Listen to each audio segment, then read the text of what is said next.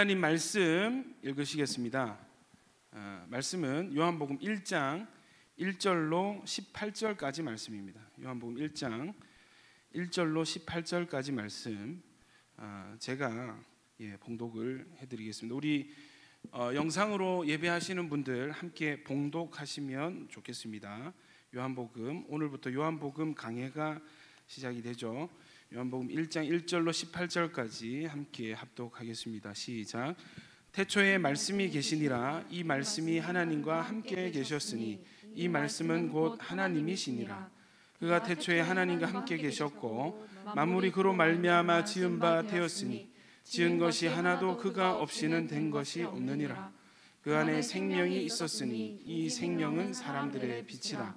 빛이 어둠에 빛이 돼 어둠이 깨닫지 못하더라.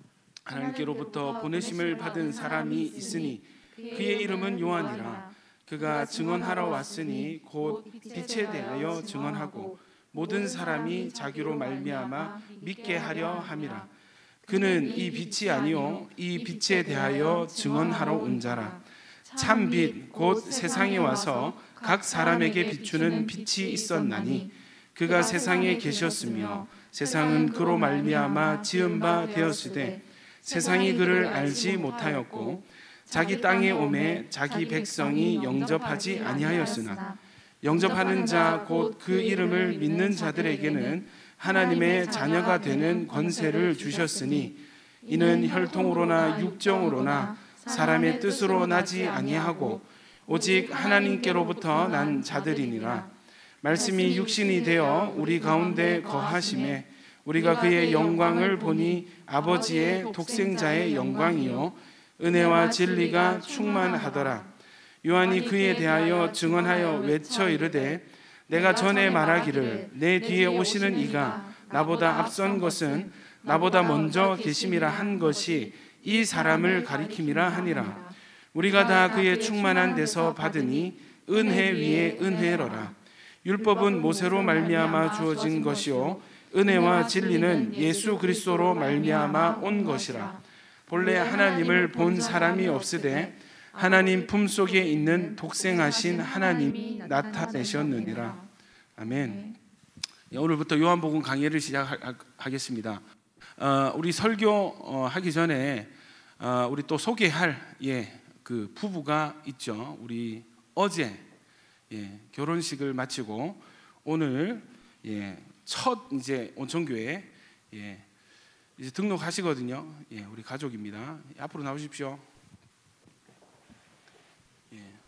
김동현, 조선영 부부를 소개해드리겠습니다. 우리 환영하는 마음으로 박수 한번 예, 치시죠. 할렐루야. 예, 우리 인사 한번 어제 결혼식도 그죠? 많은 분들이 유튜브로 함께 하시고 축복을 했는데 또 감사의 인상을 어, 좀 전해주시면 감사하겠습니다. 어, 네, 아, 어제 그 하나님의 은혜 가운데서 정말 무사하게 그리고 재밌게 우리 결혼식을 마쳤습니다. 또 이렇게 마치고 나니까 진짜 이 공동체에 또 너무 감사가 되더라고요. 우리 기도해 주신 박건재 목사님부터 해서 이제 방송 도와주신 미디어 팀 그리고 축가 팀뭐 이렇게 여러분들 다 여러 사람들이 너무 잘 도와주셔서 정말 감사함으로 이렇게 마쳤고 또 참석해 주시지 못한 분들도 이제 온라인으로 또 방송 참석도 해 주시고 또 이렇게 제가 그때 마음을 잘 전달해 주시면 좋겠다 했는데 정말 여러분들의 마음이 잘 전달된 것 같아서 다행히 이제 얼굴 붉히지 않고 이렇게 웃는 모습으로 또 이렇게 교회를 또 나오게 돼서 너무 감사했습니다. 네, 감사합니다. 예, 우리 조선영 자매님, 저희 이제 온천교회 한, 한 식구가 되었습니다. 우리 온천교회 이제 새 식구예요. 예, 아 할렐루야. 동현이가 이런 식으로 또 전도를 하네, 그죠? 자, 우리 조선영 자매님 우리 감사 인사 한번 듣도록 하겠습니다. 어, 안녕하세요. 저는 어, 오늘부터 온천교회에 참석하게 된 조선영이라고 하고 어, 정말 감사하게도 이제 코로나 때문에 많이 걱정했었는데 어, 무사히 잘 마치게 됐고 또 한 가정을 이루고 또 한 교회를 섬기게 돼서 너무 기쁜 마음입니다. 여기서 신앙의 뿌리를 잘 내릴 수 있도록 많이 도와주세요. 감사합니다. 네. 제가 한번 기도하겠습니다. 하나님 이제 하나님께서 한 몸 되게 하셨습니다. 하나입니다. 하나님 그리스도께서 교회를 사랑하시듯이 서로 사랑하게 하시고 또 하나님 주님의 몸된 교회를 뜨겁게 사랑하는 주님의 몸된 가정 이 교회 되게 하여 주시옵소서. 하늘 곳간 여시고 하나님 복에 복을 더하시고 또 자녀의 축복 더하시고 생업의 축복을 더하여 주셔서 생명 전하고 하나님 하나님의 증언의 사명 충실히 감당하는 주님의 일꾼 되게 하여 주시옵소서. 훈련 받게 하시고 말씀에 눈을 뜨게 하시고 새롭게 은혜에 각성하는 귀한 시간들이 있게 하여 주시옵소서. 예수님 이름으로 기도드립니다. 자, 우리 박수 한번 치겠습니다. 예. 들어가시고요. 예. 감사합니다. 어제 동현이 그, 그, 예, 기도를, 축복 기도를 하러 갔는데, 어, 예, 이 진짜 아들, 예, 장가 보내는 느낌 들어가지고 기도하다 울컥 울컥 했습니다. 아, 이 참 기분이 묘했어요. 아, 그참 행복한 가정 또 교회를 잘 섬기는 주님의 몸된 교회 가정 되시기를 축복합니다. 말씀을 한번 나눌 텐데요. 지금 화면이 화면 조금 그 너무 머리가 끝단에 있거든요. 좀 멀리서 잡으시고 예, 중간쯤에 얼굴 맞춰주시면 감사하겠습니다. 요한복음 1장 예. 예, 카메라 프레임 좀 조정을 해주시면 감사하겠습니다. 어, 오늘부터 우리 복음 요한 복음 어, 같이 들어가게 되었습니다. 여러분 그 어, 아마 한 달 이상 요한 복음 강해로 어, 말씀을 나눌 텐데 여러분 이 복음서가 묵상 본문에 이렇게 채택이 된 그 달은 예, 묵상을 안 하던 분들도 묵상을 하셔야 돼요. 다시요.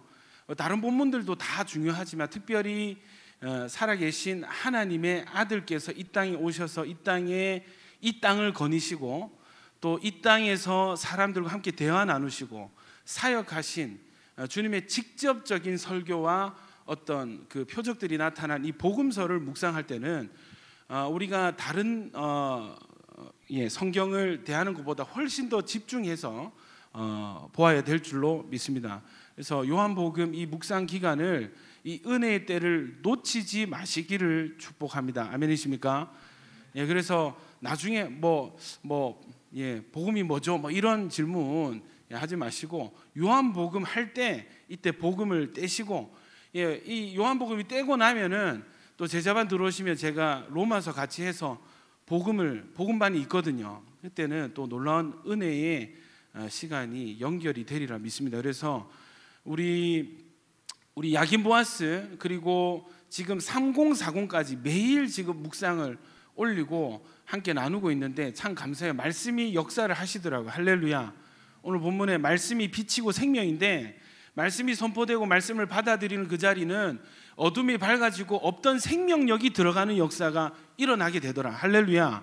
그래서 여러분 다른 거 없습니다. 여러분 인생을 사랑하십니까? 여러분 영혼을 사랑하십니까? 여러분 가정을 사랑하십니까? 여러분 빛 가운데로 나오십시오. 말씀을 영접하십시오. 말씀이 여러분에게 생명을 전해 주실 줄 믿습니다. 할렐루야. 그래서 여러분 그냥 묵상을 율법적으로 이거 왜 해야 되죠? 꼭 이렇게 해야 되나요? 여러분 이거는 진짜 이 영접하지 않는 사람들의 태도예요.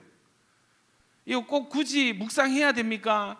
꼭 이렇게 목사님 시킨 대로 해야 됩니까? 그거는 진짜 영접하지 않는 자세 중의 자세입니다. 말씀 보자는데 무슨 그게 있겠어요? 여러분 말씀이 살린다니까요. 말씀이 여러분에게 생명이 된다니까요. 말씀이 여러분 인생의 빛이 됩니다. 할렐루야. 예, 자 우리 요한복음 들어 들어가겠습니다. 먼저 요한복음 어, 기록 목적에 대해서 어, 우리 살펴보고 요한복음 제일 마지막에 참 특이하게도 서론과 마지막에 힌트를 제공하고 있어요. 왜 요한복음인가? 왜 특별히 요한복음인가? 요한복음을 우리가 왜 읽어야 되는가? 이 서론과 마지막에 어, 나와 있습니다. 어, 요한복음 20장 30절 31절 한번 어, 펴보시겠습니까? 요한복음 20장 30절 31절 같이 한번 읽어볼게요. 시작. 예수께서 제자들 앞에서 이 책에 기록되지 아니한 다른 표적도 많이 행하셨으나 오직 이것을 기록함은 너희로 예수께서 하나님의 아들 그리스도이심을 믿게 하려 함이요 또 너희로 믿고 그 이름을 힘입어 생명을 얻게 하려 함이니라. 자, 31절 봅시오. 오직 이것을 기록함은 너희로 예수께서 하나님의 아들 그리스도이심을 믿게 하려 함이요. 예. 여러분 기록 목적 첫 번째가 뭐라고요? 예수 믿게 하려고. 예수님을 어떻게 믿게 하려고? 예, 하나님의 아들이시고 그리스도. 그리스도는 헬라어 헬라어고요. 원래 히브리어는 메시아죠. 메시아는 뜻이 무엇입니까? 예, 구원자, 구원자. 어, 다른 신약에서는 구주로 번역이 되어 있습니다. 여러분, 예수님이 하나님의 아들이시고 여러분 인생의 여러분 영혼의 구원자 되심을 믿으십니까? 할렐루야. 요한 기록의 첫 번째 기록 목적입니다. 두 번째는요.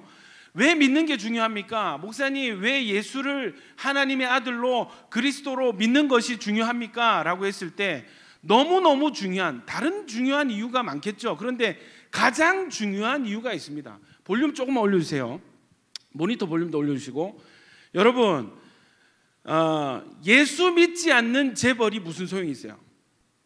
생명 없는 재벌이 무슨 소용이 있습니까? 생명 없는 연예인이 무슨 소용이 있습니까? 생명 없는 누구 성공한 누구가 무슨 소용이 있습니까? 여러분 우리 인생에서 가장 중요한 게 뭐라고요? 생명입니다. 일단은 살고 봐야죠. 살아 있어야죠. 아멘이십니까? 이 요한복음은요. 그러니까 이 복음은요. 뭐가 복이냐 했을 때 그냥 이 땅에서 우리가 바라는 건 그거잖아. 우리가 바라는 건 이 땅에서 잘 살고 편안히 사는 거잖아. 내가 원하는 거 가지면서 하고 싶은 거 마음껏 하면서 자유를 누릴 만한 돈과 시간이 있는 거. 또 명성과 어떤 재력들, 예, 뭐 부와 명예들, 세상 사람들 다 원하는 거 여러분 그거 원하는 마음 우리 안에도 있잖아요. 그거를 성경은 복이라 하지 않는다니까. 그걸 원하시잖아, 그죠? 근데 요한복음은 사도 요한은 복음은 그것을 복이라고 하지 않아요. 여러분 그 최근에 아, 그 좀비 영화가 많이 나옵니다. 좋아하세요? 저 좋아하거든요. 좀비 시리즈를 참 좋아합니다. 예, 그 이 좀비한테 쫓기는 그 긴장감 이해되세요? 그게 막 이 감정이 이입이 되더라고. 막 좀비들 막 처음에 여러분 좀비 영화들이 좀비가 느려서 오 이러고 막 쫓아왔거든. 근데 어느 순간에서부터 좀비들이 뛰기 시작했습니다. 겁나 잘 뛰어요. 저는 그러니까 저 영화 보면서 야 저 정도 속도면 나는 그냥 잡아 먹혀야 되겠다. 도무지 자신이 없다. 좀비가 나보다 더 빨리 뛰는데 어떻게 살아남냐? 뭐 이런 생각이 들더라고. 쫄깃쫄깃합니다. 여러분 좀비인데 이 명품 걸치고 있는 좀비예요. 잘 사는 사람인데 좀비예요. 부자인데 물려가지고 좀비가 됐어요. 좀비가 되면은 어 뭐예요? 무슨 욕구만 남아요? 식욕만 남죠. 식욕. 그러니까 사람 잡아먹으려고 막 열심히 뛰어다니고 쫓아다니는 겁니다. 여러분 이 생명 없는 생명 없는 인생이 여러분 좀비와 그 이 식욕만 남은 이 좀비와 뭐가 다르냐는 거예요. 뭐가 다르냐는 거예요. 그러니까 우리가 목사님 저 살아 있는데요. 저 살아 있습니다. 저 생명 있습니다. 저 밥도 잘 먹고요. 숨도 쉽니다. 예. 돈도 벌고요. 공부도 열심히 해요. 저 살아 있어요. 여러분 성경은 그런 상태를 살아 있는 상태라고 인정하지 않습니다. 성경이 이야기하는 생명은 그런 1차원적인 표면적인 생명을 생명이라 하지 않습니다. 여러분 저는 또 medical 드라마 이런 거 좋아해요. 예. 그 하얀 거탑 이런 뭐 medical 영화 어, 특히 그 어떻 어떻습니까? 응급실에 그 응급 환자가 실려오는 거야. 근데 너무 사랑하는 사람이야. 근데 죽었어. 어, 사망하셨습니다. 어떻게 해요? 제세동계 가지고 뭐 200줄 차지 이래 막 샷, 등 막 이렇게 해가지고 어떻게 해서든지 살리려고 하는데 어때요? 이미 죽었어요. 근데 어떤 일이 일어납니까?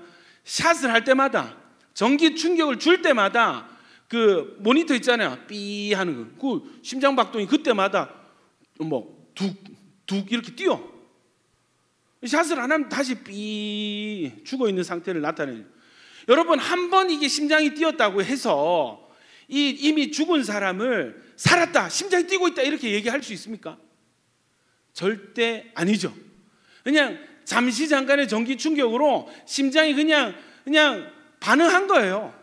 반응 근육이 반응한 거예요. 그 상태를 그 찰나의 순간을 살았다 라고 얘기할 수 있습니까? 절대 아니죠. 여러분 성경에서 생명이라 함은 영원의 관점에서 생명을 이야기하는 것입니다.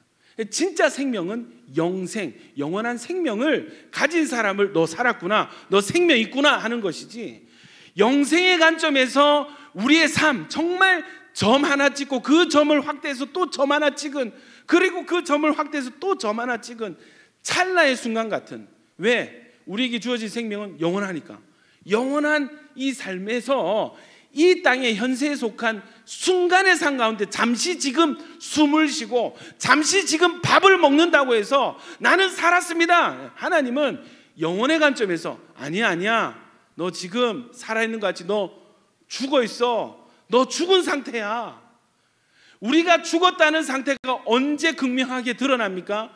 이 땅의 삶이 끝나고 영원한 삶으로 들어갈 때 지옥에 가는 사람은 죽은 거예요. 천국에 들어간 사람을 보고 영원한 생명을 가진 자라고 성경은 이야기하고 있습니다. 여러분 이미 예수님을 영접하고 영생을 얻은 저와 여러분은 세상에서 가장 복된 사람들인 줄 믿습니다. 아멘이십니까? 예. 여러분 잠시 잠깐 심장 뛰는 게 이 땅에서 잠시 잠깐 예 그 지금 숨쉬고 살면서 예 좋은 학교 갔어요. 뭐 저는 부자예요. 저는 원하는 걸 가졌어요. 여러분 그게 행복이 아니고 그게 살아 있는 게 아닙니다. 살아 있는 게 산 게 아닙니다. 웃는 게 웃는 게 아니야. 뭐 이러잖아. 산 게 산 게 아니야. 그건 살아 있는 게 아닙니다. 여러분 성경이 이야기하는 진짜 생명을 가지시기를 진짜 생명을 소유하고 그 생명으로 살아가는 여러분 되시기를 축원합니다. 할렐루야. 그래서요. 이 요한복음의 기록 목적이 뭐라고요? 믿고 생명을 얻게 하려고. 무엇을 믿는다고? 예수님이 하나님의 아들이신과 그리스도이신 것을 믿고 믿고 생명을 얻게 하려 함이라. 그래서 요한복음을 정말 잘 읽고 묵상한 사람들은 이 두 가지 목적이 기록 목적이 실제가 된다는 거예요. 예수님이 누구신지 알게 되고 깨닫게 되고 믿게 되고 할렐루야. 믿게 되면 뭐가 들어온다고요? 생명이 들어오는 것입니다. 살게 되는 것입니다. 요한복음은 사람 살리는 책입니다. 영혼 살리는 책입니다. 여러분 삶 가운데 죽음이 있습니까? 어둠이 있습니까? 생명력이 없습니까? 요한복음은 여러분을 살리기 위해서 쓰여진 책입니다. 할렐루야. 내 영혼을 살리기 위해서 2000년 전에 나를 위해서 쓰여진 책이 요한복음입니다. 예, 적당히 이 책 읽고 뭐 일이 잘 되겠지, 뭐 예, 물질 축복 그런 그런 잠시 잠깐의 이거 이거 이걸 바라지 마십시오. 여러분 사도 요한은 여러분을 살리려고 이 책을 썼습니다. 하나님은 여러분을 살리려고 요한복음을 우리에게 주셨습니다. 할렐루야. 요한복음 묵상하고 사십시오. 살기 위해서 묵상하십시오. 아멘이십니까? 예. 어, 여러분 그래서 어, 생명 필요 없는 사람이 누가 있습니까? 다 살아야 돼요. 우리 다 생명력이 필요합니다. 여러분 어, 목자가 온 것은 목자가 온 것은 생명을 주고 더욱 풍성히 주려 함이라 했습니다. 아멘이십니까? 예수님의 목적은 그냥 숨만 간당간당하게 쉬는 그냥 혼수 상태인데 아무것도 못 하는데 숨만 붙어 있는 그런 상태로 만드시려고 예수는 오신 게 아니에요. 풍성한 생명, 생명이 넘쳐서 가만히 누워 있을 수 없는 그런 상태, 풍성한 생명을 주시려고 오셨습니다. 할렐루야. 여러분 이미 예수님 믿었습니다. 아멘이십니까? 제가 알기에 여러분 지금 어, 우리 야긴 보아스 예 웬만한 사람들 예수님 다 믿어요. 저 확신합니다. 여러분 안에 생명이 있습니다. 그런데 그 생명으로 만족하십니까?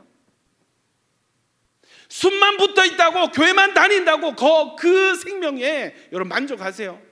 예수님은 풍성히 주려고 오셨댔어요.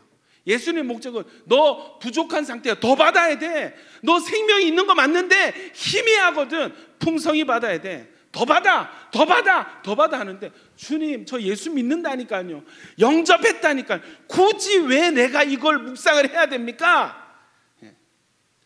혹시 그렇게 살, 살고 계시는 분 계시다면 여러분 오늘 영접하시고 더 영접하시기를 예수님 이름으로 축원합니다.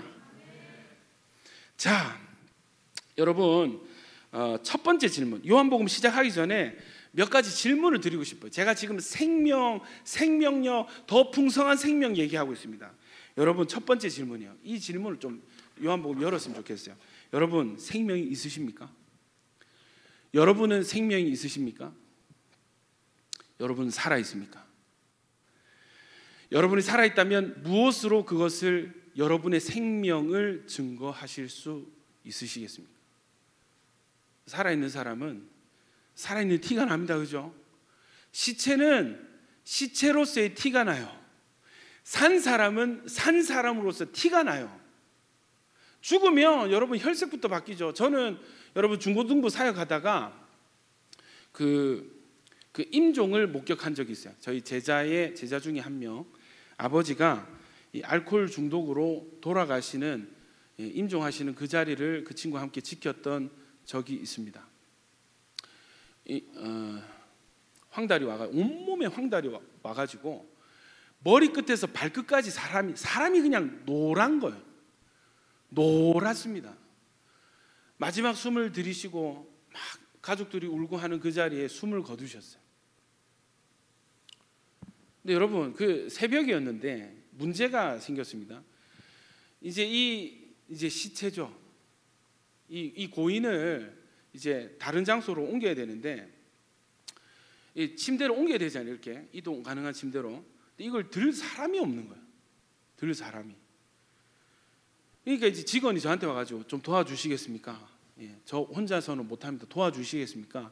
하길래 제가 이제 예 알겠습니다 하고 어, 그 고인의 그 다리를 잡았어요. 근데 여러분 이제 금방 죽은 지 몇 분 안 됐는데 아 몸이 그 있잖아요. 와, 탁탁해지는 예, 차가워지는 이, 이게 사람인가?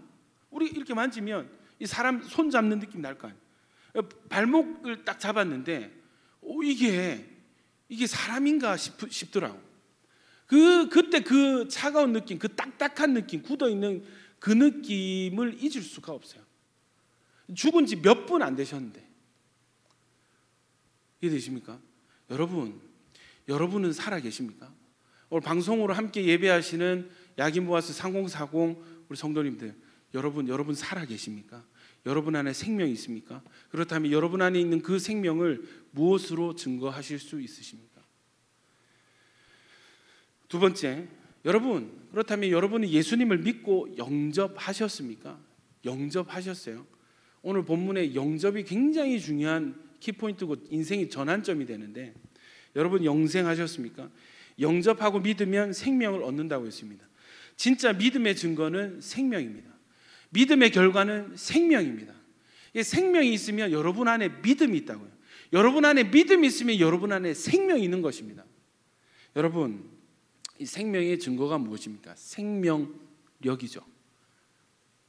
여러분 진짜 여러분 예수님 믿었습니까? 그냥 단순히 종교란에 기독교 체크하는 거 말고요. 일요일에 교회 한, 한두 시간 왔다가 집에 돌아가서 하고 싶은 거 마음껏 하고 사는 그런 거 말고요. 나중에 내가 직장에서 교회 다니는 거 알게 됐는데 사람들이 야, 너 교회 다녔어? 너도 교회 다녔어? 너도 성도야? 놀라는 예, 서로 민망해 하는 거.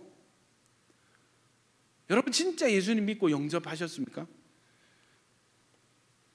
믿음의 증거는 생명이죠. 생명의 증거는 생명력입니다.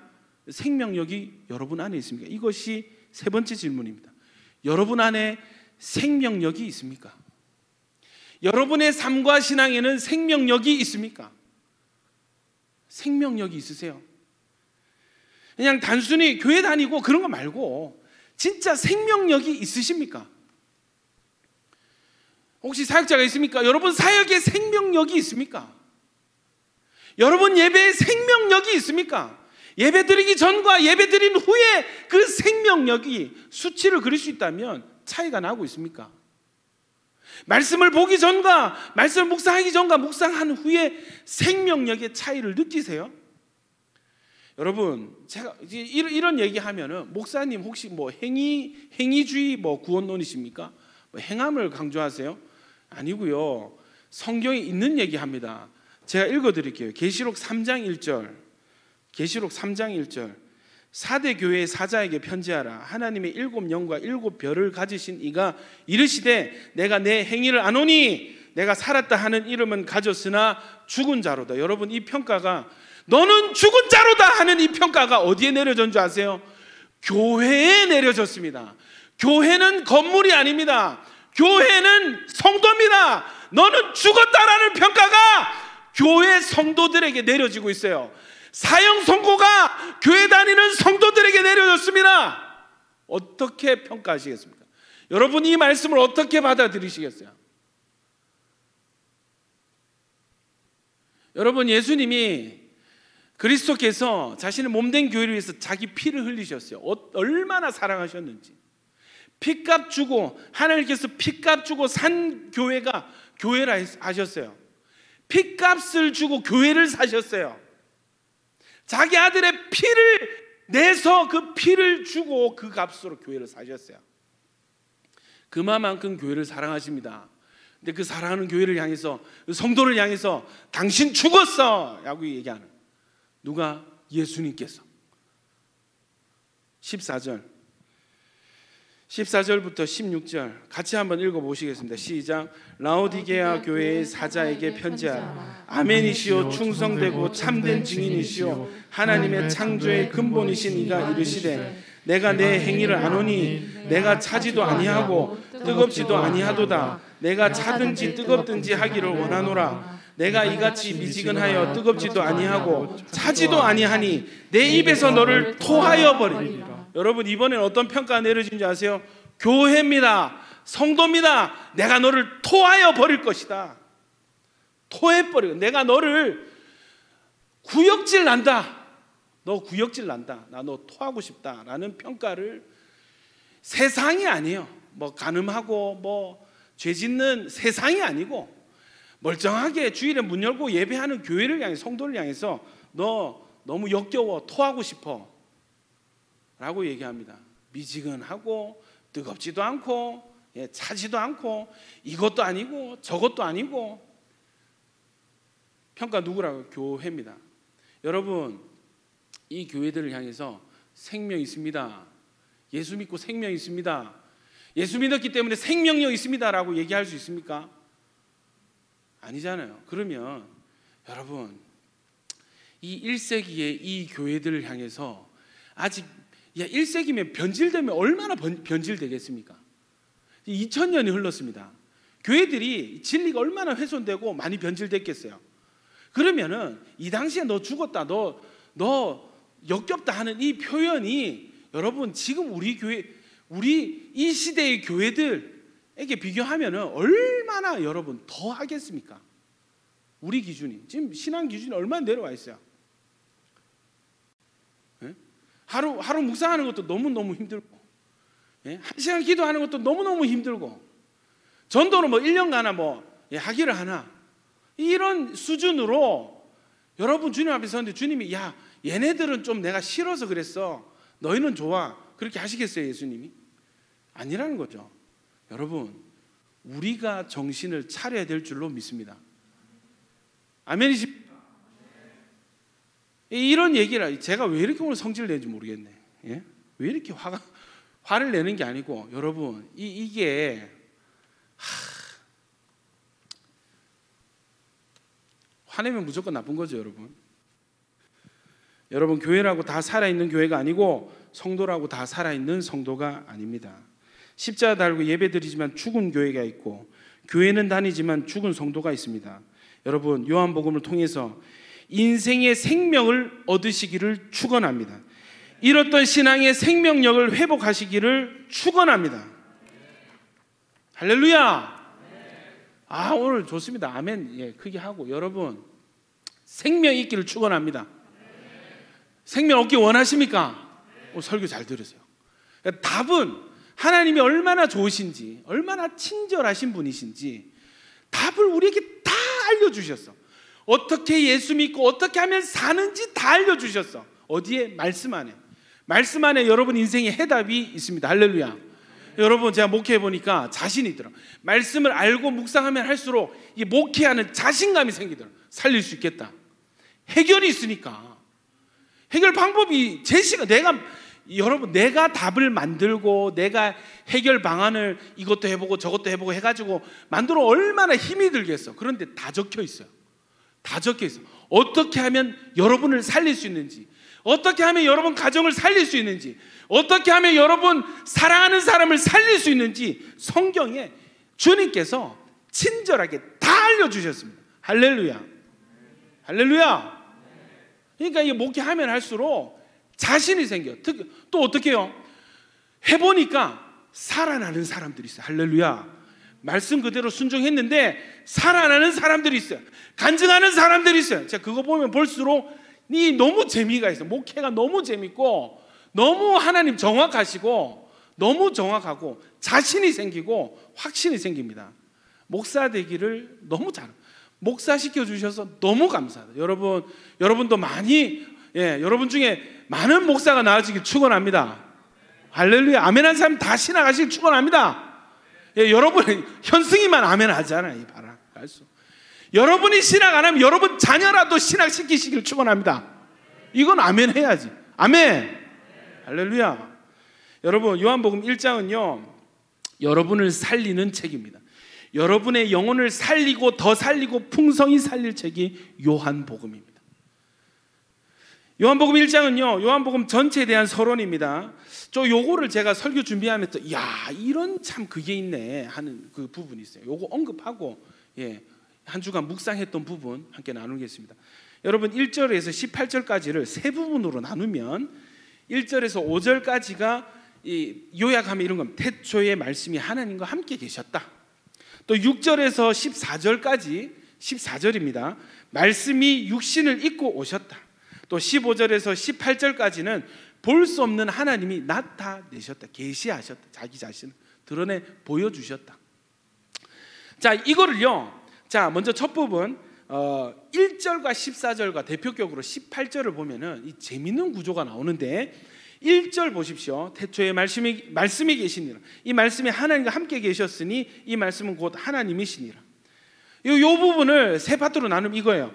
태초에 말씀이 계시니라. 이 말씀이 하나님과 함께 계셨다. 시 이 말씀은 하나님이시다. 이렇게 세 부분, 세 문장, 세 마디가 나오는 겁니다. 다시요. 1절을 이렇게 3등분을 하면 태초에 말씀이 계시니라. 말씀이 하나님과 함께 계셨고 이 말씀은 하나님이시다. 요 세 개. 자, 14절도 세 마디로 되어 있습니다. A. 하, 말씀이 육신이 되어 B. 우리 가운데 거하셨다. C. 그 영광을 보니 아버지의 독생자의 영광이요 은혜와 진리가 충만하였다. 이해되시죠? 이세 문장을 A, B, C가 교묘하게 딱 짜부가 되고 이렇게 겹쳐지는데 자 보십시오. 1절의 A와 14절의 A를 겹치면 이렇게요. 태초에 말씀이 계시니라 이 말씀이 육신이 되어 자, 그 다음에 B, 어, 이 말씀이 하나님과 함께 계셨다. 그리고 우리 가운데 거하셨다. 14절. 그 다음에 C, 이 말씀은 하나님이시다. C, 이 그 영광을 보니 아버지의 독생자의 영광이요. 은혜와 진리가 충만하였다. 여러분, 여기 보면은 이 핵심이 이제 18절에 요약이 나오는데 18절 읽어보시면 본래 하나님을 본 사람이 없으되 아버지 품속에 있는 독생하신 하나님이 나타내셨느니라 했습니다. 아버지 품속에 있는 독생하신 하나님 누구를 말씀하는 거예요? 예수 그리스도를 정확하게 계시하고 있습니다. 그래서 이 문장 그 문장에 중요한 동사가 세 가지가 어, 등장하는데 1절에 계시니라. 그다음에 14절에 거하심에 18절에 어, 나타내셨느니라. 요 세 개. 계셨는데 언제부터? 태초부터 태초부터 계셨는데 어디에 계셨어요? 아버지와 함께 계시던 그분이 그죠? 어떻게 요 말씀이 육신이 되어 나타나셨는데 누구 함께 거하셨습니까? 우리와 함께 자기 백성들과 함께 아멘이십니까? 계셨던 그분이 나타나셨고 거하셨어요. 자 그러면은 우리가 여기 보니까 어 그 거하다라는 단어가 그 단어를 찾아보니까 원어가 스케노오입니다. 스케노. 이게 장막을 치다 거주하다. 예, 같이 사는 거예요. 이게 스케노 거주하다라는 뜻이 됩니다. 우리 질문을 할 수 있는데 여러분 신앙생활 잘하고 싶으시죠? 예. 여러분 신앙생활 잘하기 원하십니까? 예. 질문을 잘하셔야 돼요. 뭐를 잘해야 된다고? 질문. 질문을 던질 수 있는 거지. 왜 그 은혜와 진리가 이 충만하신 하나님의 품 속에 계셨다. 하나님 어디 계십니까? 천국 계시죠. 천국에 계셔서 은혜와 진리가 충만하고 영광이 풍성하신 그 하나님께서 왜 거기를 버리시고 이 땅에 육신을 입고 이 땅에 텐트를 치셨는가? 왜 이 땅에 백성들과 함께 거하셨는가? 이 질문이 되는. 거예요. 왜 그러셨어요? 왜 오셨습니까? 왜 우리랑 같이 사셨습니까? 여러분, 예수님은 어디에 계세요? 우리 안에 계시죠. 아멘이십니까? 질문할 수 있는 왜 우리 안에 세상 끝날까지 우리와 함께 하세요? 왜 나랑 같이 사세요? 질문은 천국 좋은데 왜 내 안에서 나랑 같이 사세요? 여러분 이 궁금증이 이 요한복음에 숨겨진 복음을 여는 열쇠가 됩니다. 여러분 천국이 얼마나 좋아요? 천국의 천사들 얼마나 말 잘 듣고 순종 잘합니까? 왜 하나님이 이 땅에 이 거칠은 광야 사막에 텐트를 치시고 그 불편한데 화장실도 없는데 편의점이 있습니까? 예? BBQ가 있습니까? 예? 요 없는 게 그냥 없어. 광야는 그냥 없는 거 물도 없고 식량도 없고 그죠? 좋은 건 없고 나쁜 게 많아요. 광야는 그렇습니다. 또 누구 함께 가셨어요? 정말 지질이 말도 안 듣고, 어? 정말 지질이 말도 안 듣고, 말도 못 알아듣고, 어리석고, 어둠 가운데 어리석고 그냥 고집은 세고, 자존심도 세고, 회개도 안 해. 이해되세요? 싫어하는 행동만 골라서 해, 골라서. 예? 영접하지 않는 오늘 요한복음 본문의 표현은 영접하지 아니하니라 영접 자신을 영접하지 않는 백성들과 왜 텐트 치시고 같이 사셨는가? 예? 왜 그들과 동거하셨는가? 왜 그들을 도무지 떠나지를 아니하시는가? 여러분 이 질문, 이 궁금증이 복음을 여는 열쇠가 되는 거예요. 제가 묵상을 해보니까 어디에 얼마나 좋은데 어디에 있는지가 중요한 게 아니에요. 누구와 함께 있는가가 중요한 거예요. 할렐루야. 동현이가 결혼을 했어요. 이해되세요? 하, 맨날 혼자 그죠? 외롭게 지내고 친구가 정말 사랑하는 너무나 이쁜 이제 신부를 얻고 너무 행복해. 같이만 있어도 행복해. 여러분 새빵인들 어떠하리 그죠? 예, 달새빵이 뭐 전새빵이 뭐 그냥 같이 있는 게 좋은 거예요. 같이 지금은 그런 거예요. 지금은 지금은 그냥 예 여기까지 하겠습니다. 어, 누구 어디에 있는가 중요한 게 아니고 누구와 함께 있는가 이게 중요한 거예요. 할렐루야. 여러분 그리고요 상대 이, 이 복음이 뭐냐면 상대방이 나를 어떻게 생각하는지 저 사람이 우리는 그렇잖아. 여러분 우리가 썸을 탈 때 얘가 나를 좋아하나? 어, 밤 9시에 지금 카톡이 왔는데 이 지금 이게 뻐꾸기 날린 건가? 아니면 진짜 뭐 궁금해서 물어봤 이막 막 아리까리 하잖아요, 그죠? 예, 참 좋을 때입니다. 그러니까 뭐냐, 내가 어, 나, 나한테 마음이 있나? 나한테 마음이 있나? 그럼 나도 조금 한번 어 받아줘 볼까? 뭐 이런 이런 이런 고민. 예, 여러분, 근데 이 복음의 예수님의 사랑은요, 상대방이 나를 어떻게 생각하는지는 전혀 개지를 않다. 당신이 나를 사랑하느냐 안 하느냐는 나에게 아무런 문제가 되지 않죠. 예수님은요, 내가 당신을 사랑하는 게 중요합니다. 그럼에도 불구하고 나는 당신이 너무 이쁘게 보이고 당신을 포기할 수 없을 만큼 사랑한다는 게 그것이 중요합니다. 이 마음이 느껴져요. 거하시다. 우리 가운데 거하시다. 이 마음이 이, 이, 이 단어가 저에게는 네가 어떤 상태인지는 나에게 중요하지 않아. 네가 어디에 있는지는 중요하지 않아. 난 너와 함께 있고 싶어. 내가 너를 사랑하는 게 중요하다. 이 마음, 이 울컥울컥하는 너무 감사한 할렐루야. 여러분 예수님은 여러분 때문에 이 땅에 오셨습니다. 여러분 때문에 오셨습니다. 우리의 마음은 주님을 영접하지 않고 비켜드리지 않는데 그건 주님께 중요한 게 아니었어요. 내 상태는 중요한 게 아니었어요. 내가 어디에 있는지는 중요하지 않았어요. 주님은 그저 여러분, 그냥 너, 너희들. 그거면 충분해요. 할렐루야. 어떻게 보면요. 영접하는 것만큼 쉬운 일이 없는 것 같아요. 예수 믿는 것만큼 쉬운 일이 없는 것 같아. 이 사랑을 받아 그냥 받아들이면 되지. 예수님이 옆에 텐트 치면은 내비두면 돼 그냥. 같이 살면 돼. 이해되세요? 근데 우리는 영접하지를 않는다 그랬어요.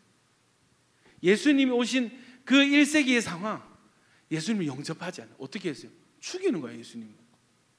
예수님 죽여버려요. 왜? 영접하지 않으니까. 세상에서 가장 여러분 이 진짜 나를 너무 너무 사랑하는 사람의 사람하고 사귀는 게 얼마나 쉽습니까? 응? 안 그렇습니까? 그 사랑 받아주면 되잖아. 받아주면 되잖아. 그걸 거절하는. 여러분 아, 요한복음에서 예수님을 어떻게 소개하고 있는지 우리 같이 한 세 가지로 알아보겠습니다. 오늘 이 요한복음 1장이 전체의 서론이에요. 아, 이 서론을 끝까지 깔고 가셔야 돼요. 묵상을 하실 때 이 서론의 개념이 잘 정리돼 가지고 예수님의 정체성이 확고해진 그 상태로 이 어, 뒤에 내용들을 묵상을 해야 이해가 됩니다. 그래서 조금 이 1장 후반절에는 빌리가 나다나이를 이렇게 또 요한의 제자였던 안드레를 막 이렇게 제자로 부르시죠. 부르시는데 여러분 제자들이 예수님을 따라간 것은 이런 거예요. 1장이 서론이 딱 정리가 되면은 예수님을 따라간 것 이꼴 말씀을 따라간 것. 예수님의 제자가 된 것 이꼴 말씀의 제자가 된 것. 아멘이십니까? 너무 중요합니다. 예수님 따라간 것 그것은 빛을 따라간 것입니다. 예수님을 따라간 것 그것은 생명을 향해서 따라간 것입니다. 할렐루야. 이 예수님의 정체성. 그 사도 요한이 저는 성경 무엇을 너무나 확고히 지지합니다.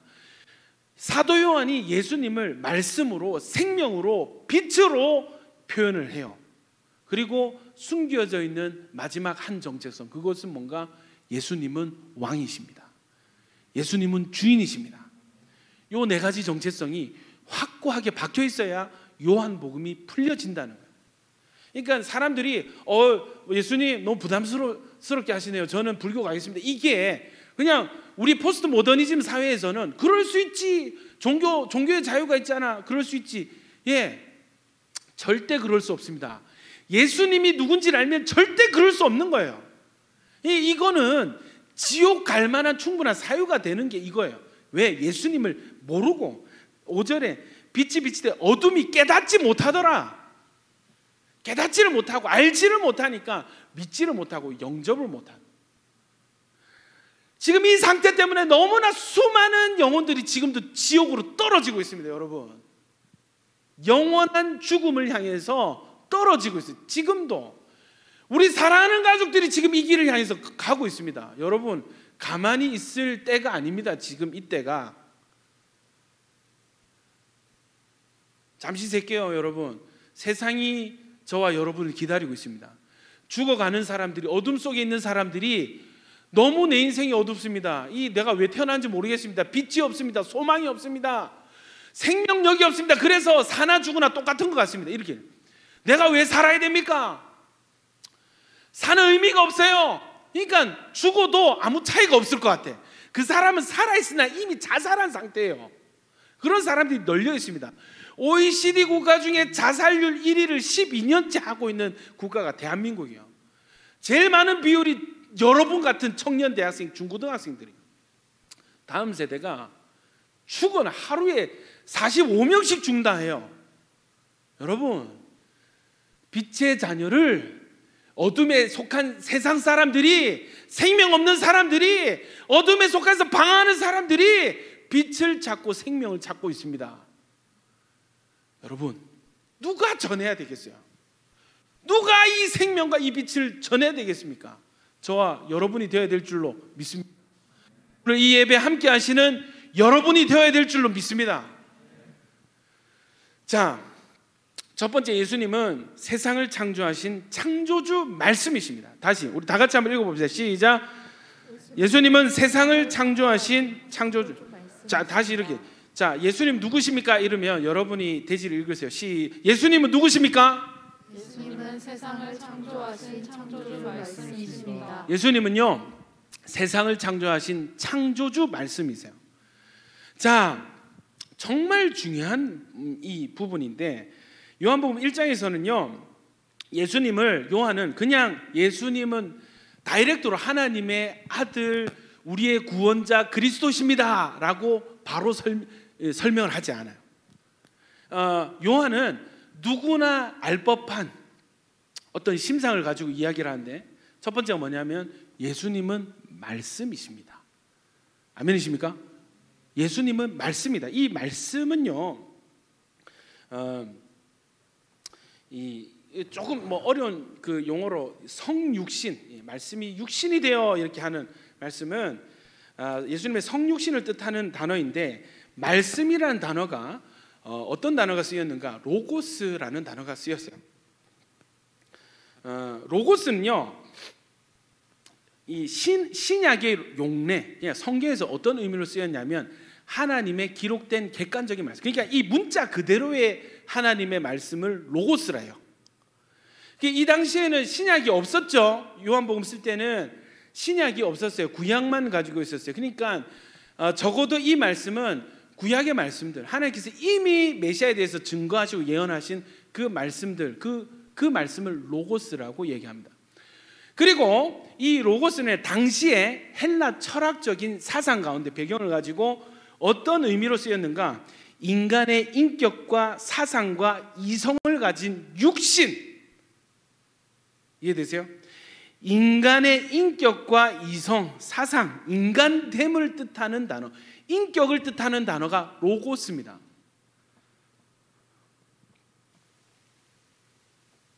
여러분, 이 14절에 말씀이 육신이 되어 우리 가운데 거하심에 이걸 그 원어를 말씀의 로고스라는 이 두 가지 뜻 하나님의 기록된 객관적인 말씀 그죠? 구약 말씀 그리고 인간의 인격됨이라는 두 가지 뜻을 함께 품은 단어가 뭐라고요? 로고스 근데요 이거 보세요 로고스가 하나님의 말씀이기도 하고 인간의 인격 되기도 하는 그 말씀이 육신이 되어 우리 가운데 거하시면 이게 뭐예요? 예수님의 성육신을 그대로 설명하는 단어가 로고스입니다. 하나님의 기록된 말씀이 육신 피, 뼈와 살이 붙어서 인격을 생명을 가지고 성경에서 뚜벅뚜벅 걸어 나온 그분이 바로 누구다? 예수님이시다. 할렐루야. 그래서요. 빌립보서 2장에 구체적으로 이렇게 얘기를 하고 있습니다. 빌립보서 2장 6절부터 8절 다 같이 읽습니다. 시작. 그는 근본 하나님의 본체시나 하나님과 동등됨을 취할 것으로 여기지 아니하시고 오히려 자기를 비워 종의 형체를 가지사 사람들과 같이 되셨고 사람의 모양으로 나타나사 자기를 낮추시고 죽기까지 복종하셨으니 곧 십자가에 죽으심이라. 여러분 신앙생활 잘하려면 뭘 잘해야 된다고? 질문을 잘하셔야 돼요. 질문을 던지는 거예요. 하나님 왜 도대체 왜 어? 하나님의 근본 본체이신 그 영광스러운 예수님께서 은혜와 진리가 충만하신 그 예수님께서 자기를 털털털 탈탈탈 비워가지고 종의 형체를 가지사 사람과 똑같이 육신이 되어서 여러분 사람들은 다 업그레이드 하고 싶어 하잖아요. 예, 집 넓히고 싶고 차 좋은 거 바꾸고 싶어요. 컴퓨터 좋은 거 바꾸고 싶어. 업그레이드 하고 싶은데 예수님 자기를 downgrade도 이런 downgrade가 없습니다. 천국에서 가장 좋은 그곳에서 가장 낮고 천한 이, 이 땅으로 가장 존귀했던 그분이 가장 비루하고 비천하고 죄 많고 더러운 그 형상으로 오셨어요. 왜 로고스 하셨습니까? 왜 downgrade 하셨어요? 왜 낮고 이 천한 이 땅에 왜 오셨어요? 오셔서 행복하게 사셨습니까? 예? 왜 가장 비천한 죽음을 가장 비참하고 수치스럽고 가장 고통스러운 그 죽음을 선택하셨습니까? 여러분 이 질문에 대한 답을 주려고 사도 요한이 요한복음을 기록한 것 같습니다. 바로 예수를 믿고 생명을 주려고 아멘이십니까? 사람을 살리기 위해서 이 책을 쓴 것 같아요. 예수님의 이 사랑을 전하려고 믿고 살 수 있는 길을 좀 제시하려고 이거 나만 알기는 너무 내가 이거 알고 이거 믿고 살았는데 모르고 안 믿고 죽어간 사람 너무 많아요. 막 심장이 터지는 거죠. 여러분 전하지 않을 수 있겠습니까? 믿고 사는 은혜가 저와 여러분의 있기를 축원합니다. 그리고 이미 믿는 여러분은 더 풍성히 얻으시기를 축원합니다. 여러분 3절에요. 만물이 그로 말미암아 지은 바 되었으니 지은 것이 하나도 그가 없이는 된 것이 없느니라. 자, 여러분 여기에서 너무 중요한 저는 이 말씀을 처음 묵상했을 때 아, 머리를 좀 한 대 띵 얻어 맞는 느낌이 들었어요. 왜요? 어, 어릴 때부터 세상은 누가 만들었죠? 천지 창조 누가 하셨죠? 하나님 하나님이 하나님 누구시죠? 창조주 하나님이요. 아 잘했어요 근조하리 막 이런 이런 식으로 잘 배우고 자랐죠. 그죠? 근데 요한복음 묵상하면서 말씀이 말씀이 누구냐면 예수님이거든. 예수님이 태초부터 계셔가지고 말씀이 세상을 만들었는데 하나도 그가 없이는 지음받은 것이 없는. 그러니까 모든 것을 예수님이 창조하셨다. 할렐루야. 그러니까 여러분 요한복음 알기 전에는 창조주 하나님 누구죠? 아, 세상을 만드신 분 누구죠? 하나님이요. 이런 뭐 맞, 맞는 거야.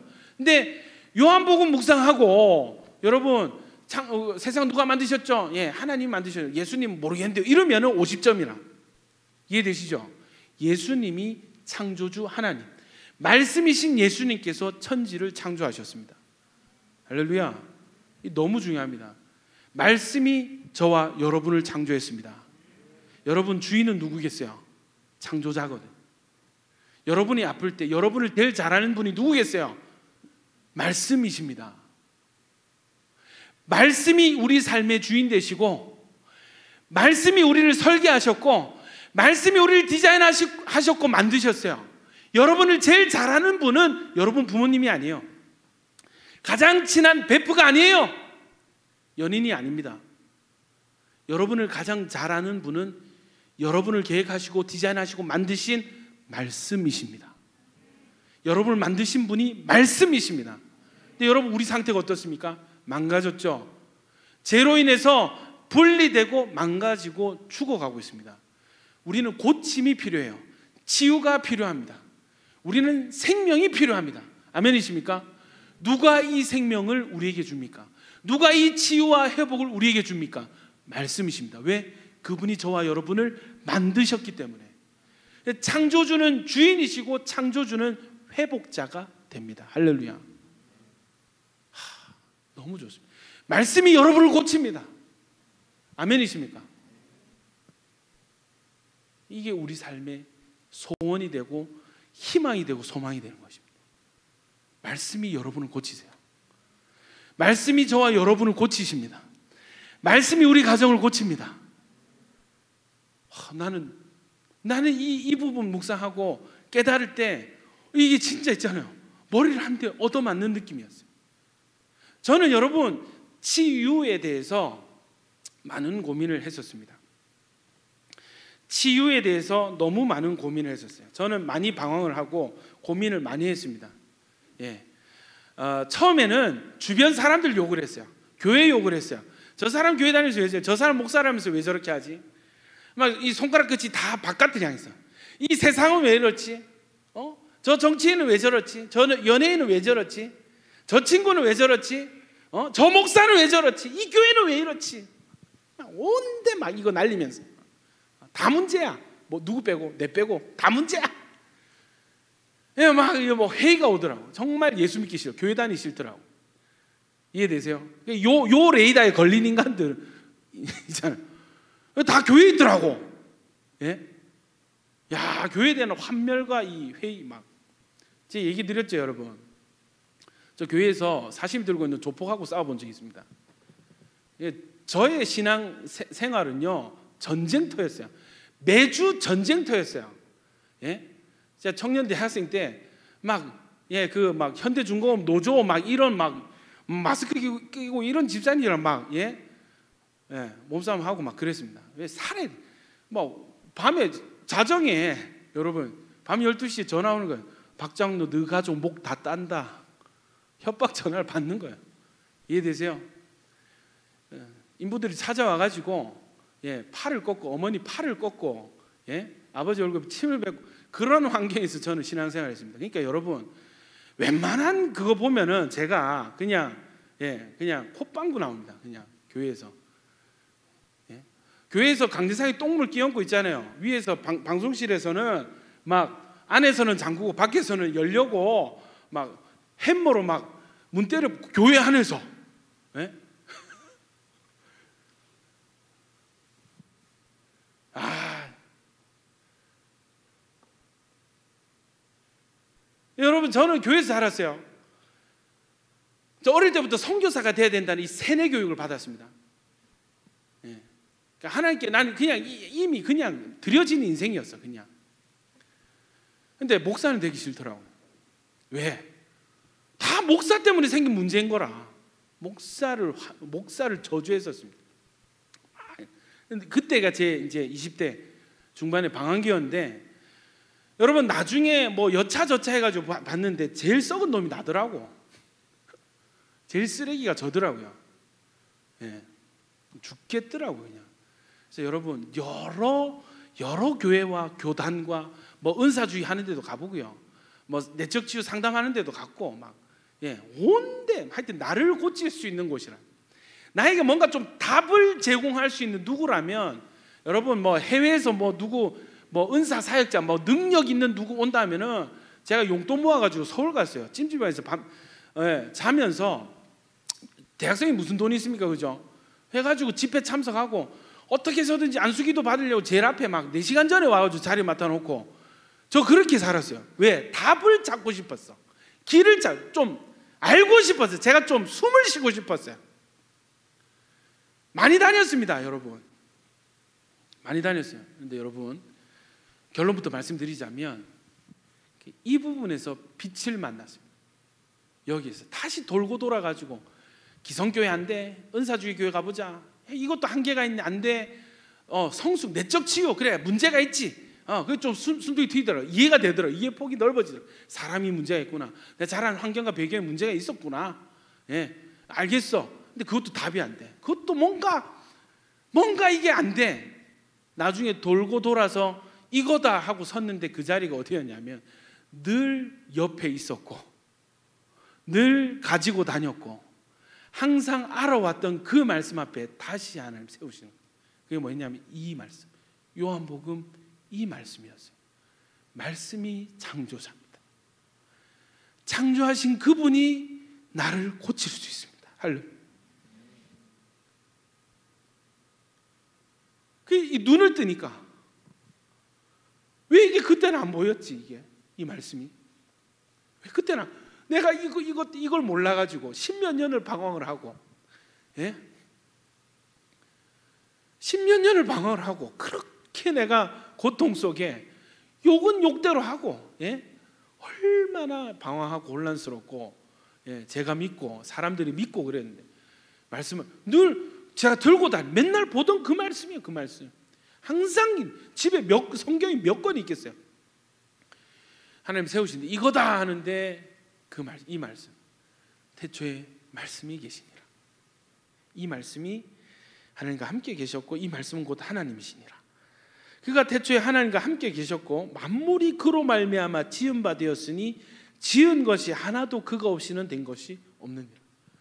나를 만드신 말씀이라면 나를 잘 아시고 이 나를 만드신 말씀이라면 나를 고치시겠구나. 확신이 생기는 할렐루야. 말씀을 보기 시작했습니다 묵상하기 시작했습니다. 여러분 변화가 일어나 변화가 일어나 말씀 묵상하니까 곧바로 하나님께서 여시는 게 뭐였냐면 복음이었습니다.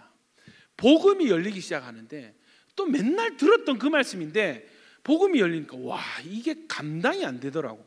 너무 너무 행복하더라고. 세상에 여러분 부러울 사람이 없더라고 여러분. 부러운 사람이 없어요. 너무 너무 좋더라고 복음이 열리니까 이 생명이 내 안에 있었구나 할렐루야 이 생명이 내 안에 있었구나 그리고 더 풍성히 받을 수 있구나 할렐루야 야 여러분 똑같은 삶이고 똑같은 환경인데 복음이 짠 터지니까 여러분 인생이 바뀌더라고. 내가 내가 바뀌는 거야. 너무 너무 좋은 거야. 너무 너무 행복한 거야. 너무 너무 만족스러운 거야. 만족스럽더라고요. 여러분 문제가 생겼습니다. 저희 와이프는 그때 독박 육아를 하면서 제가 맨날 집에 10시 11시 들어가니까 어, 오빠는 뭐 온천교에 와서 어, 신날지 모르겠는데 난 죽을 맛이다. 응? 난 죽을 맛이다. 나 이게 뭐고 이러면 맨날 그 집에 들어가면 투정을 하고 예? 애들 오늘 힘들었던 거 얘기를 하고 막 죽을 맛이다. 여기 나 아는 사람도 없고 친한 사람도 없고 어? 너무너무 외롭다 막. 예, 막 맨날 울고 그러는 거 맨날 울고. 여러분 제가 복음이 열리니까 아 요게 뭐가 있구나 지금 뭐가 있구나 내 요, 요걸 좀 전해 그래서 여러분 그 자리에서 여보 이렇게 와봐 와봐 그 로마서 내가 한번 풀어줄게 내가 내가 묵상한 로마서 한번 풀어줄게 1장부터 5장까지 간대 5장 딱 찍으니까 닭동안 눈물을 주르륵 흘리면서 여보 알겠어요 뭔지 알겠어요. 이러고 그때부터 말씀 묵상하기 시작했다 또. 할렐루야.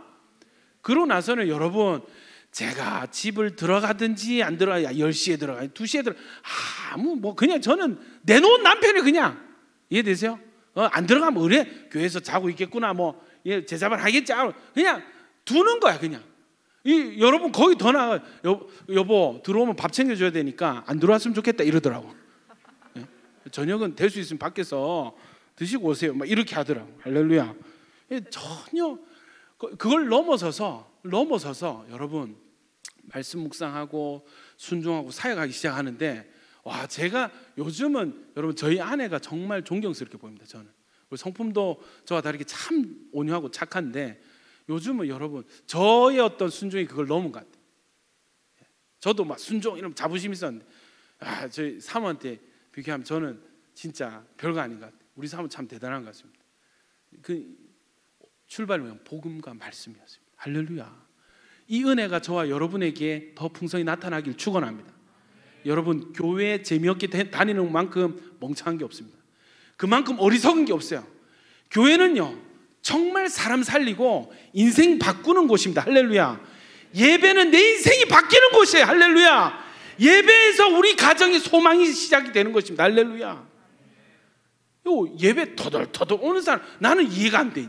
나도 옛날에 그랬는데 지금 예, 저 깨닫고 보니까 그, 야 저거 진짜 아닌데 저 진짜 모르는 건데 여러분 어둠 가운데 계신 분 말씀이 빛입니다.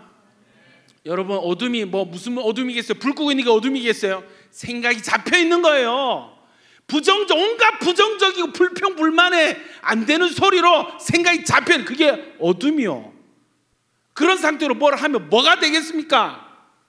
뭐가 되겠어요? 여러분 빛이 필요하거든요. 빛이 필요하거든요. 어둠과 싸워서 어둠 물리칠 수가 없습니다. 빛이 필요합니다. 아멘이십니까? 빛이 비치면 되는 거야. 근데 빛이 비쳤어. 하나님 보내주셨어. 달라 하기도 전에 하나님이 빛을 보내주셨어. 뭐만 하면 돼? 뚜껑 열고 그냥 빛을 맞으면 돼요. 빛을 영접만 하면 되는 것입니다. 할렐루야. 그걸 안 하더라니까. 그걸 안 하는 사람들이 있었다니까요. 여러분 말씀 가운데 나오십시오.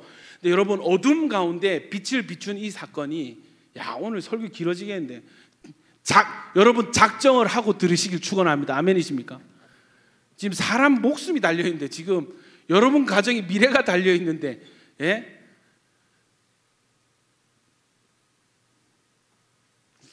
예 적당히 제가 눈치 보고 자 여러분 자 보십시오. 어두운 가운데 빛이 임했어요. 근데 이 사건이 요한복음 1장에만 일어난 게 아니에요. 예수님이 성육신에 하셔서 태어나실 때 빛이 비친 건데 이게 이때 처음 일어난 게 아니에요. 제일 처음 어둠 가운데 빛이 비친 사건이 있었습니다. 언제죠? 창세기 1장. 창세기 1장 1절 넘어가세요. 태초에 하나님 천지를 창조하시니라 땅이 혼돈하고 공허하며 흑암이 깊음 위에 있고 하나님의 영은 수면 위에 운행하시니라. 하나님이 이르시되 빛이 있으라 하시니 빛이 있었고 빛이 하나님 보시기에 좋았더라. 하나님 빛과 어둠을 나누사 하나님 빛을 낮이라 부르시고 어둠을 밤이라 부르시니라 저녁이 되고 아침이 되니 이는 첫째 날인 여러분 하나님께서 천지를 창조하실 때 예, 그냥 빛 먼저 창조하신 게 아닌 것 같아요. 아이고 천지를 창조할 왜 이래 어둠이 누가 불을 꺼놨지 불 끼자 빛이 있으라 이런 게 아닌 것 같아. 근데 왜 빛을 먼저 창조하셨는가? 흑암이 있었습니다, 여러분. 어둠 가운데 여러분 제일 필요한 게 뭐겠어요? 빛이거든요. 흑암이 깊음 위에 있고 하나님 영은 수면 위에 운행하실 그 가운데 요 상태에서 흑암 가운데 성령이 이렇게 운행하는 그 상태에서 하나님 말씀하셨어요. 근데 말씀은 로고스죠. 로고스가 로고스 하셨어요. 말씀이신 하나님께서 말씀으로 세상을 창조하셨는데 제일 먼저 하신 말씀이 빛이 있으라였습니다. 다시 말씀이신 예수님께서 말씀으로 천지를 창조하셨는데 첫 번째 말씀하신 말씀이 빛이었습니다. 그런데 요한복음의 말씀은 빛이에요. 아멘이십니까? 말씀이 흑암 가운데 빛이니까 빛이 생기는 거예요. 할렐루야. 근데 여러분, 하나님은 모든 세상을 빛으로 완전히 다 그냥 다 커버하실 수 있는 분이세요. 어두움 한 점, 그늘 한 점 없게 하실 수 있는 분이 하나님이세요. 아멘이세요? 그런데 여러분, 이 창세기 1장의 천지 창조에서 그렇게 하실 수 있는 하나님께서 어떻게 빛이 있으라 했는데 빛이 있는 영역까지를 인정하시고 또 빛이 없는 영역을 인정을 하세요. 이해되세요? 그래서 빛과 어둠을 나누셔서 빛을 낮이라 하시고 어둠을 뭐라 하셨어요? 밤이라 하셨어요. 어둠은 안 좋은 거잖아, 그죠? 근데 왜 어둠을 인정하셨을까? 내버려 두셨을까? 그 상황. 그러니까 빛이 빛이라 했는데 어디는 빛이 임하고 빛을 받아들이고 영접, 빛을 영접을 하고 어떤 영역은 빛을 거절하는 영역이 있더라는 것이지. 창세기에 일어났던 그 일이 요한복음에도 그대로 일어나고 있고 지금도 일어나고 있습니다. 여러분 마음 가운데 이 중에도 지금 영상으로 보고 계시는 분들 중에도 여러분 말씀이 선포되는 것은 빛이 비치는 거예요. 말씀이 깨달아지는 것은 빛이 비치는 것입니다. 근데 여러분 어떤 사람은 막 빛이 비춰가지고 막 우와 깨닫고 우와 대박이다 이렇게 나오는 사람이 있고 어떤 아뭐왜 저래 소리를 지르노 저 박목사 저 어? 화를 내노 화를 어? 아, 마음에 어조가 마음에 안 목소리를 마음에 살찐 게 마음에 안 들어. 응? 하여튼 어떤 이유든지 이 거절하는 사람 이 답답하다는 거예요. 여러분 낮에 속한 여러분 되시길 축원합니다. 자, 어, 빛을 어둠, 예, 빛, 빛, 빛과 어둠을 나누시고 빛을 낮, 어둠을 밤 나누셨어요. 인정해 하셨어요. 여러분 빛이 말씀입니다. 아멘이십니까? 처음 이 세상을 말 때 말씀으로 빛을 비추셨던 그 주님께서 지금도 빛으로 우리를 비추십니다. 자, 10편 119편 105절 130절 보세요. 105편 105절 다 같이 한번 읽어볼까요? 주의 말씀 시작. 주의 말씀은. 주의 말씀은 등이고 빛입니다. 등은 뭐예요? 물 빛을 내는 물체입니다. 말씀은 빛입니다. 아멘이십니까? 성경이 성경을 증거합니다. 말씀은 빛이에요. 여러분 지금도 빛이 비치고 있습니다. 할렐루야. 빛을 받으세요. 마음을 여십시오. 아멘입니까? 우리 영상을 보시는 분들 여러분 마음을 여십시오. 말씀을 받으십시오.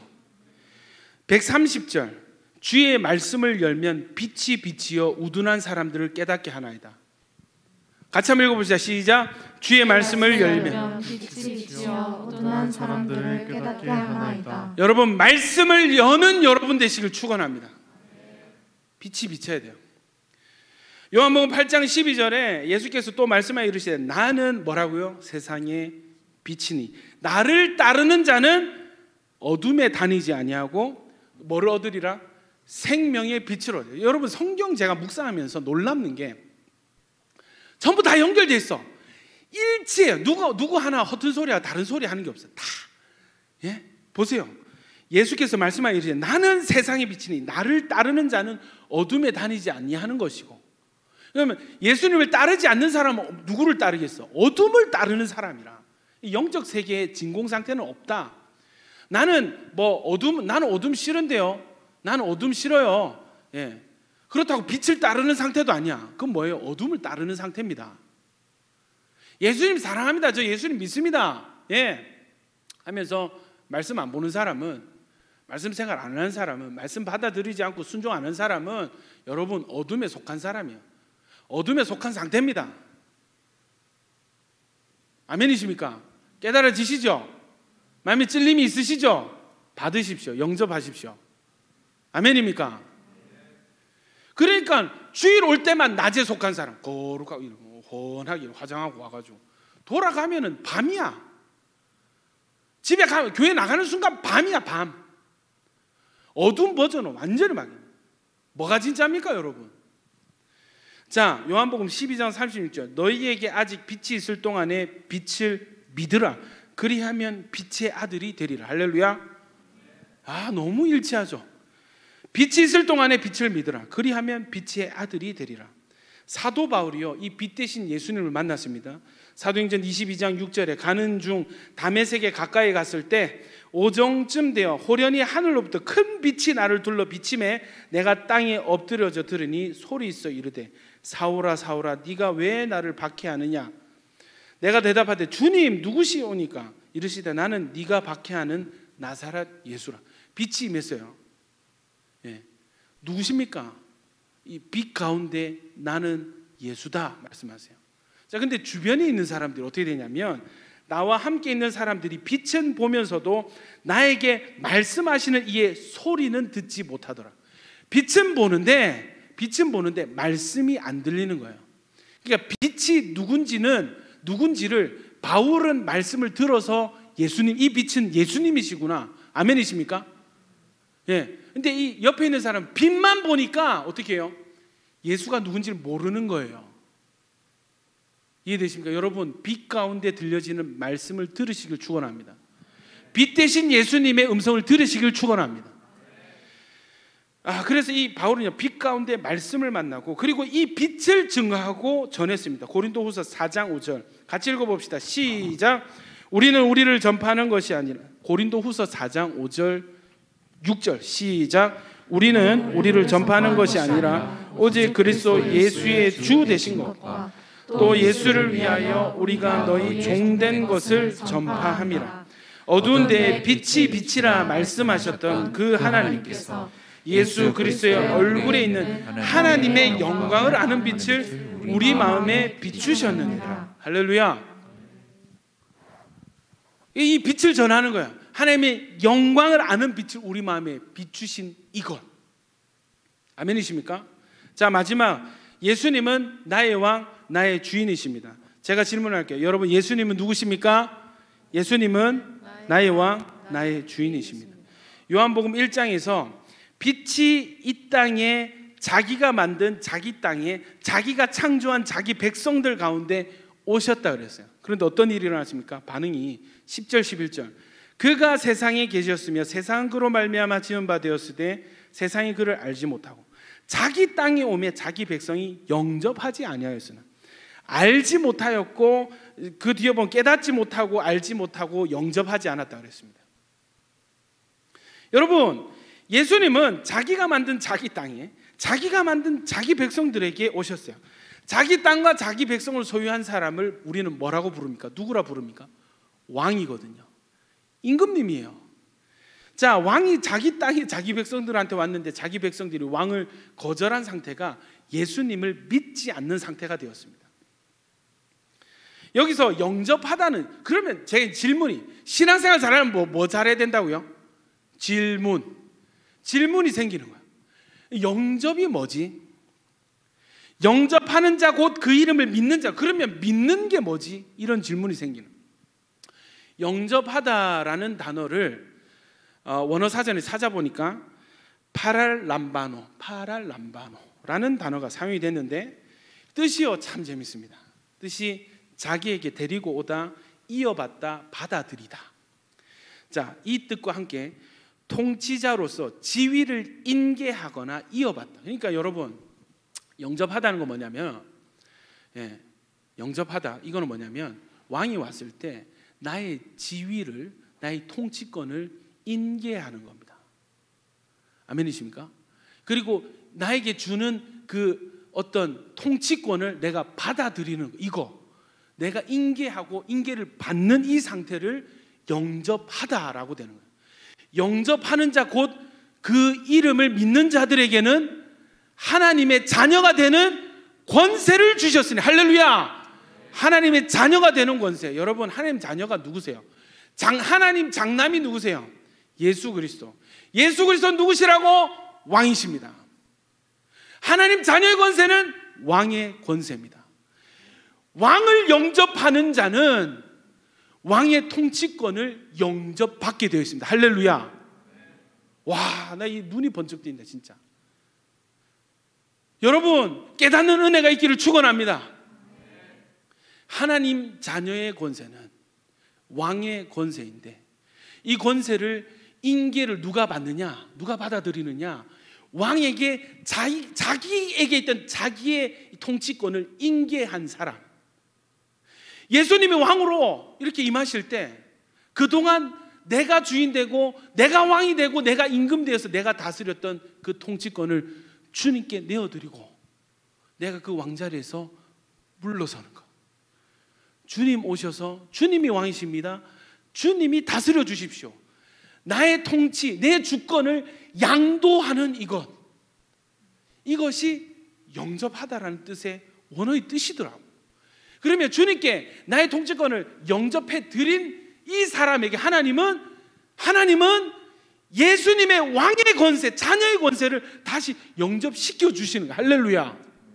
여러분, 요한복음 14장 3절에 이런 부분이 있습니다. 가서 너희를 위하여 처소를 예비하면 내가 다시 와서 너희를 내게로 영접하여 나 있는 곳에 너희도 있게 하리라. 누가 천국에 들어가는 줄 아세요? 천국에 들어가는 것을 내가 너희 너희를 내게로 영접하여 이렇게 했습니다. 누가 영접합니까? 예. 누가 이 천국에 영접받습니까? 예수님 영접하는 자, 곧 그 이름을 믿는 자들에게 천국의 천국에 영접되는 은혜가 주어진다는 거. 할렐루야. 여러분 이 영접하고 안 하고 문제는 있고 없고의 차이가 아니에요. 이해되세요? 이해되세요? 저는 뭐 저는 자전거가 없어요.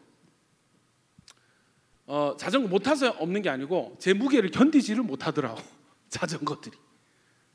그 한 번씩 이렇게 온천천에 자전거 타고 다니는 사람들 보면은 부러워. 나도 한번 여기서 출발해가지고 저쪽 센텀 해운대까지 한번 가보고 싶어요. 마음에 소원이 있어요. 근데 여러분, 전 자전거 없어도 돼. 안 해도 돼. 걸어가도 돼. 그거는 없어 있어도 되고 있으면 좋고 없어도 상관없는 그런 부분. 자전거. 예수 이름을 영접하지 않는 것은 자전거 있고 없고의 문제가 아니에요. 이거는 내가 사느냐 죽느냐의 문제입니다. 아멘이십니까?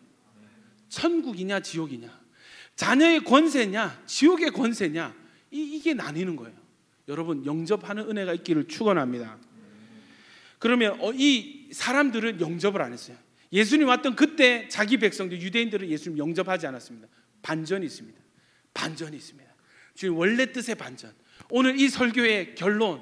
여러분 우리가 앞으로 달려나가고 매진될 그 작업이 뭔가? 12절입니다. 12절 같이 읽읍시다. 시작. 영접하는 자, 곧 그 이름을 믿는 자들에게는 하나님의 자녀가 되는 권세를 주셨으니. 할렐루야. 여러분, 영접하는 자 되시기를 축원합니다.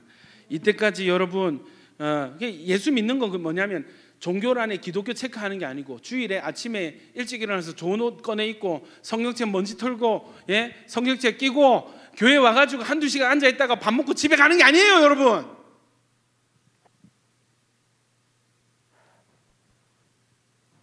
그 영접하는 거 아닙니다. 자, 어떤 원리가 있냐면 로마서 2장 28절 29절. 무릇 표면적 유대인이 유대인이 아니요. 표면적 육신의 할례가 할례가 아니니라 오직 이면적 유대인이 유대인이며 할례는 마음에 할지니 영에 있고 율법 조문에 있지 아니한 것이라 그 칭찬이 사람에게서가 아니요 다만 하나님에게서니라 여러분 유대인에게조차 표면적 유대인이 너 유대인 아니야 진짜 너 이면적 유대인이 진짜 유대인이야. 바울이 이렇게 정의를 내려. 그러면 여러분 뭐예요?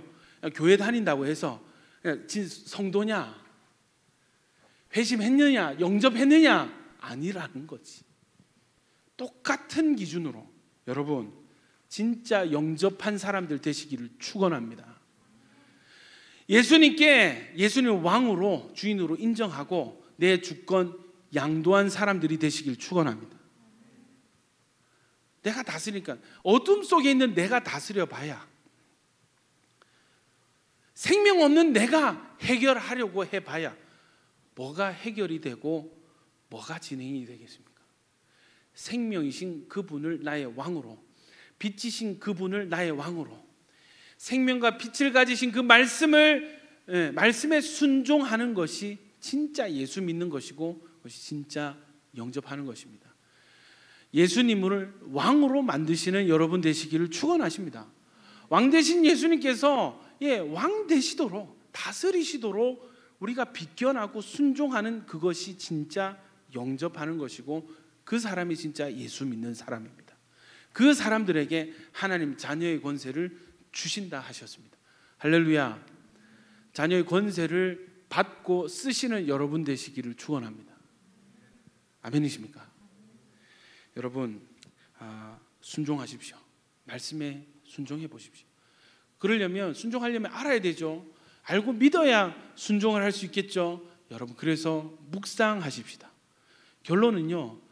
말씀은 빛이고 말씀은 생명입니다. 말씀은 나의 주인이고 왕이십니다. 할렐루야. 난 이 말씀을 알고 깨닫고 믿고 순종하겠습니다. 다시 이 말씀을 알고 깨닫고 믿고 순종하겠습니다. 한번 한 달, 한 40일 작정해 보십시오. 요한복음 말씀 마무리하겠습니다. 요한복음 복음이 어, 묵상이 시작됐습니다. 제가 어제 묵상을 하다가 잠이 들었어요. 못 올렸어요.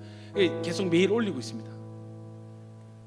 오늘 여러분 어제 부, 부분까지 다 올려드리겠습니다.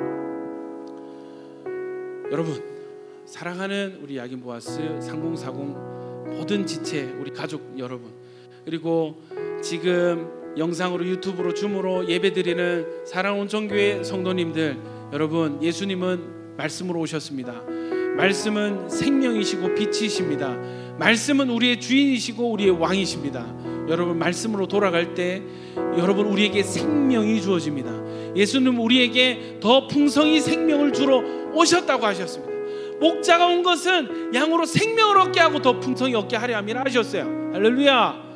여러분 교회 다니는 것으로 만족하지 마시길 축원합니다. 교회 다니는 것으로 만족하지 마십시오. 예배 드릴 수 있는 것으로 만족하지 마십시오. 여러분 지금 많은 성도들이 착각하고 있습니다. 우리 다음 주 되면은 대면 예배 할 겁니다. 할렐루야. 얼마나 감사한지. 야기 모아스 여러분, 우리 3040 여러분. 다음 주에 우리가 얼굴과 얼굴을 맞대고 함께 뜨겁게 눈물 흘리며 예배할 수 있습니다. 너무너무 기다려집니다. 그러나 여러분, 아무리 우리가 모여서 철야를 하고 뭐 여기서 부르짖고 기도를 한다 한들 여러분 이 말씀을 떠난 예배 말씀 없는 신앙이 말씀에 순종함이 없는 여전히 내가 주인 되어서 내 성경이 내 인생의 성경이 된, 내 생각이 성경이 된 사람 내 생각이 내 판단이 성경이 되고 예 내가 왕이 되어서 내가 결론 내리고 예 내 고집대로만 내 고집에만 순종하는 사람 무슨 생명이 있습니까? 만족하십니까?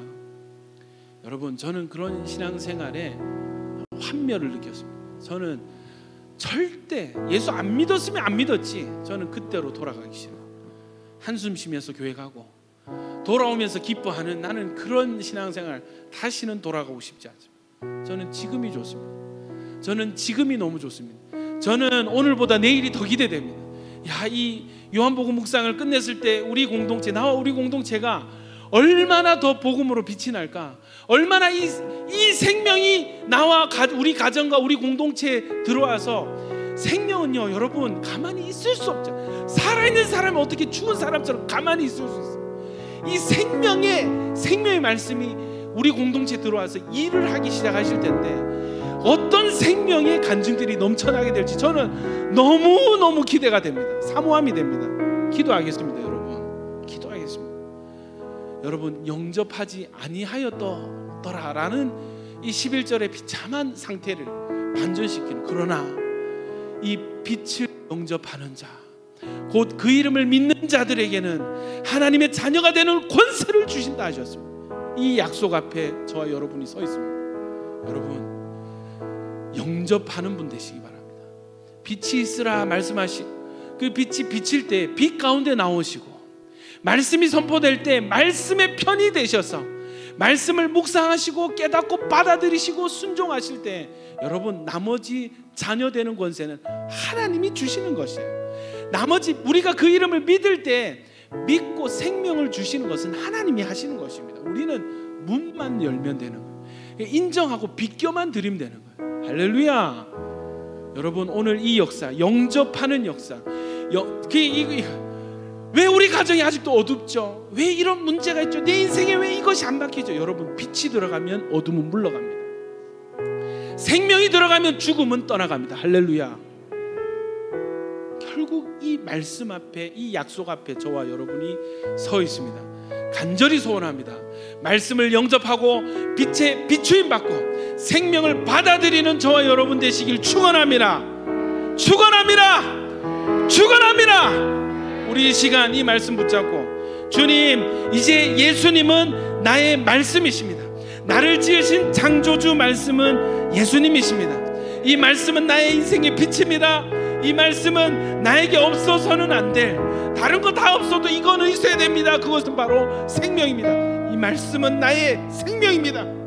이 말씀은 나의 나와 내 가정의 주인이십니다. 이 말씀은 나와 우리 공동체의 왕이십니다. 이 말씀에 영접하겠습니다. 이 말씀을 영접하겠습니다. 영접하는 자 되겠습니다. 곧 그 이름을 믿는 자들 되겠습니다. 주님 우리에게 빛을 비춰 주시옵소서. 네. 주님 우리에게 생명을 다하여 주시옵소서. 네. 우리 주여 한 번에 주의 다하겠습니다. 주여,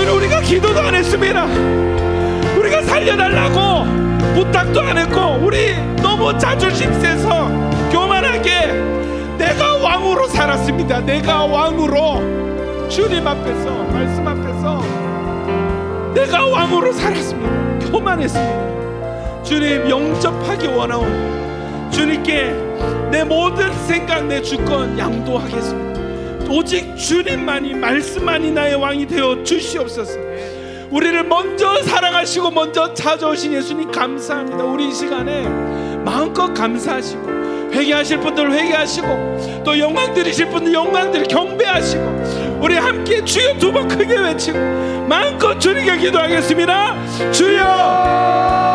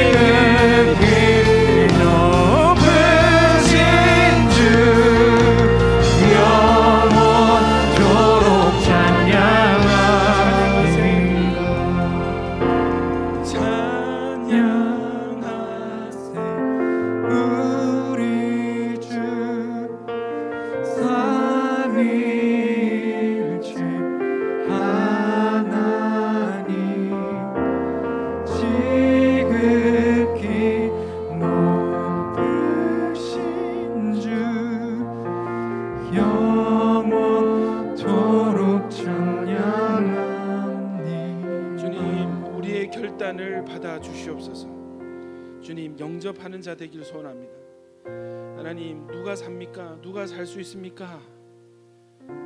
돈을 많이 벌어야 됩니까? 헌금을 많이 해야 됩니까? 착한 일을 많이 해야 됩니까? 아니면 뭐 공부를 잘 해야 됩니까? 주님 어떻게 하면 살 수 있습니까?